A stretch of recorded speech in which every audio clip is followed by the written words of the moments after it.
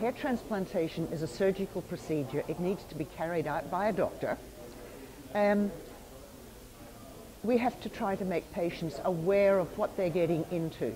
They should be asking questions about who does the surgery. They want to know the name of the doctor. They want to educate themselves about the clinic. They want to see before and after pictures that have been taken by that clinic and not just the clinic has taken off the internet.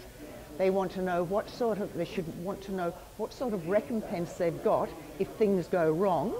Um, and that is a big problem with all areas of medical tourism. It is much safer to stay in your own country. Um, you could potentially bring back infection with you.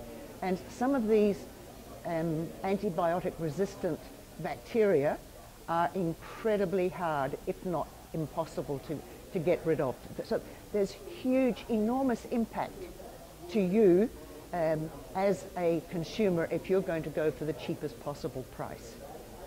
So it's our job with this black market campaign to actually educate the patients, give them the right questions to ask, and be very wary if it is too cheap. It is impossible for a cheap clinic to do a great job.